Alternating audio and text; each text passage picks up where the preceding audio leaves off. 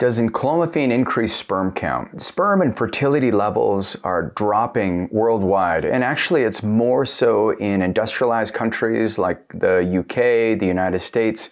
That's where we're seeing the biggest drop. And this can be devastating, especially if you're starting to want to have kids and to have a family. And I know it can be uh, psychologically devastating and it can pull couples apart. And so, in this video, what my goal is to share with you not only some good news that enclomiphene can help increase uh, sperm count, but I'm also going to share with you some of the other natural things and some of the foundational lifestyle pieces that you want to put together so that you can have all the babies that you could ever dream of. All right, I don't know how many you're dreaming of, but hopefully you want to have uh, a few kids because it's the next generation and we got to have more babies. So let's jump in. So I'm Regan Archibald, founder of Ageless Future, and I make these videos because I want to give you some information that allows you to sort out the signal through the noise. There's a lot of noise out there around health.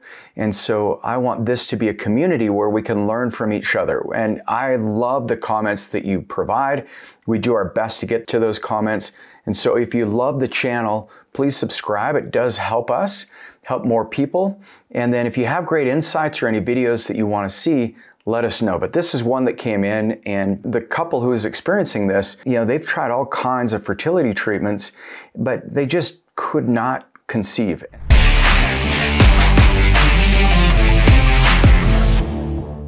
So the couple who came in, they'd done IVF twice. And in both times, the IVF didn't take. And, you know, they were able to retrieve the healthiest eggs and they had healthy sperm, generally speaking.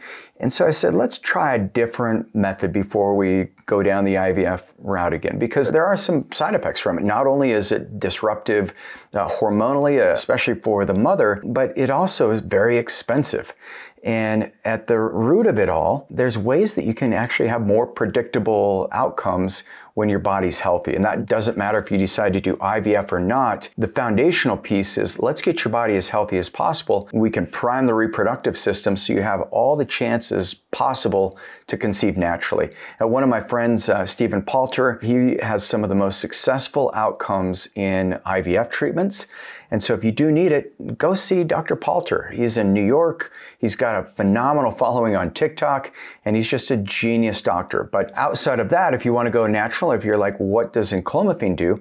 Well, here's the good news. So enclomiphene, it does work on the Leydig cells. And these Leydig cells are in the testes, and they stimulate testosterone and sperm through this hypothalamic pituitary gonadal axis or the HPG axis. And this HPG axis, it gets disrupted in so many people based on lifestyles that we had in our past. And so even if today you're like, all right, I'm cleaning up, but you've had 10 years of exposing yourself to alcohol, drugs, uh, cigarettes, sedentary lifestyle, too much Netflix, too much pizza, all these things start to diminish our sperm count. And then you confound that with uh, some of the research that we're finding on whole, putting your cell phone in your front pocket the chances of us being able to continue to exist as a species is threatened. I say that in all seriousness because I think this is one of the biggest and most devastating problems, not just for your community and your family, but for society at large. So the way that enclomiphene is considered a SERM, or a selective estrogen receptor modulator. And so what that means is it does have this ability to activate luteinizing hormone and follicular stimulating hormone, which then triggers the spermatogenesis in the testes. And this is actually a really important mechanism, and the communication gets lost when you have what are called endocrine disruptors. So, some of the reasons why you may struggle to have really healthy sperm number one, if you're on testosterone, testosterone turns off your body's own production of sperm because testosterone instantly, if you have exogenous testosterone, it lowers your LH and FSH. And these are the two really important pathways that your pituitary, these signals, these stimulating hormone pathways, when they're not active, then your testes go dormant. And that's where you can get what's called hypogonadism, where you can literally have um, shrinkage in the testes when you're on testosterone. So, first thing you want to do is if that's you, then you're going to want to get off testosterone, but that can have devastating side effects. And so, this is where enclomiphene can be a nice bridge so that you can continue making great sperm.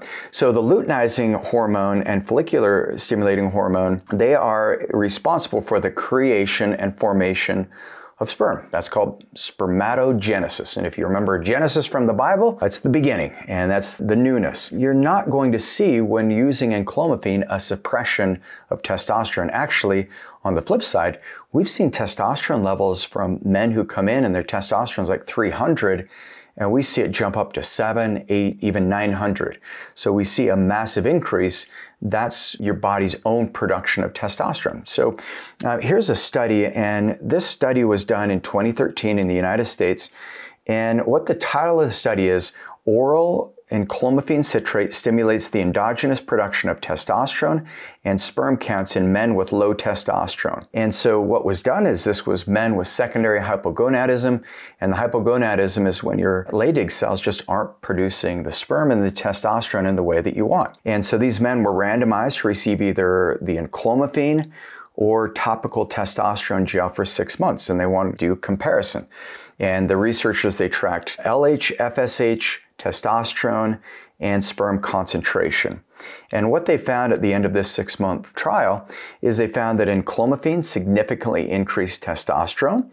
It increased luteinizing hormone or LH and FSH, follicular stimulating hormone, and sperm counts went up. While the testosterone gel, you had an increase of testosterone, but you had a suppression of LH, FSH, and sperm counts. So the study concluded that the enclomiphene does have the ability to protect levels of testosterone and increase it while also improving and increasing sperm count through the LH and FSH pathways. So if, if you're someone who's considering getting on it, the typical dose is 25 milligrams daily. And in some cases, you can start with 12.5 milligrams. Make sure you're working through blood labs. Make sure you have the right data. And I'm sure if you're watching this video interested in fertility, you're working with a specialist. But enclomiphene, the nice thing about it is this non-testosterone therapy. What it does is it helps with this connection between the brain and the testes, or that HPG axis. And that seems to be the most important. The things that disrupt that communication is it's a feedback loop. And so when you have what are called endocrine mimicry or endocrine disruptors, these are things that you want to get rid of as quickly as possible so that that signaling is proper.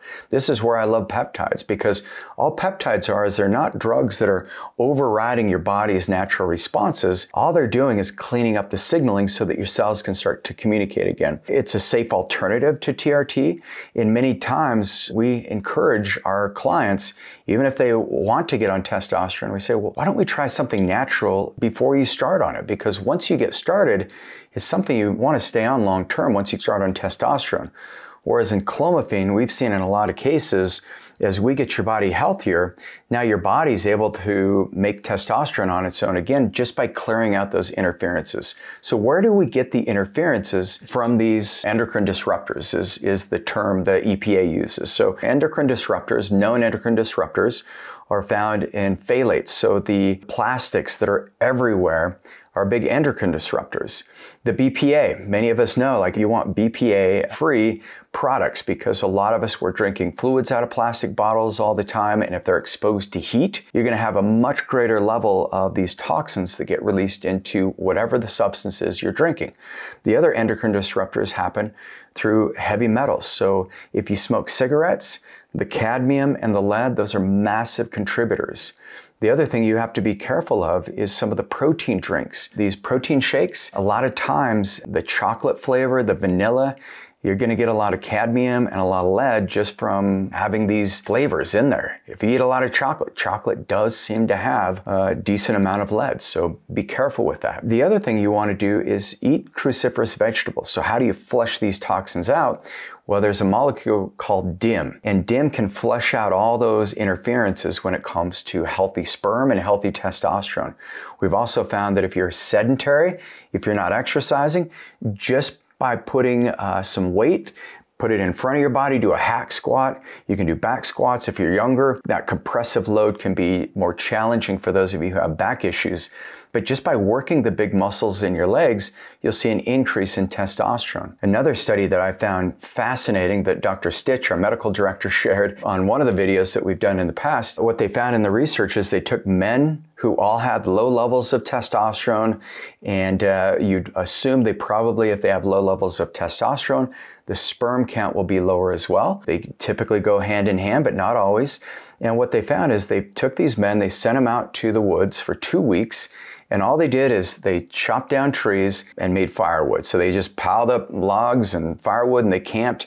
And when they came back, the average man had a two to threefold increase in testosterone just by going in the woods. So that's another option. The other natural way you can increase the sperm count and fertility is making sure you have adequate levels of zinc, adequate levels of boron, adequate levels of selenium, and omega 3s. And then, generally speaking, if you have any nutrient deficiencies, the reproductive system is the first thing our body gets rid of if our body is under stress. So make sure you have mindfulness activities, get rid of alcohol, make sure you do the 30 30 protocol, get out in the sun right as the sun's rising that first 30 minutes of the day, and then as the sun's setting, get out in the sun again. Try to spend two hours outside will dramatically increase these levels. And then get to bed by 9:30. It's that the hours before midnight is when you get growth hormone. Your body's going to get rid of all that stress. You're going to feel young and vibrant. So have close relationships, lots of hugs, increases oxytocin, which increases nitric oxide, which improves blood flow, which the testes need blood flow if you want the testosterone levels. And then make sure you're not sitting for long periods of time. It's really damaging to the body. So get the sit stand desk. All these things can be really helpful. And enclomiphene, once you've cleared out all the interferences, clomiphene is a great therapy that can increase testosterone, increase sperm count, and help you to have family. Have the family that you want, but make sure you have the lifestyle in place because I think health is more contagious than disease. And so it's the principles that you teach your kids and then your kids are going to teach their kids.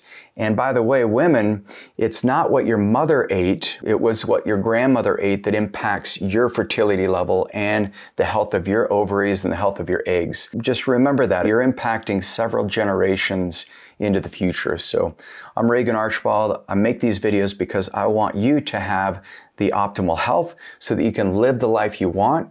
Having healthy sperm is a big part of that if having a family is in your future. So if you love this video and you want to go deeper and get blood labs, go to agelessfuture.com. That's where it all starts. And we can look at all the hormone pathways and help you optimize your chances of conception, having great sperm count, and having a great life.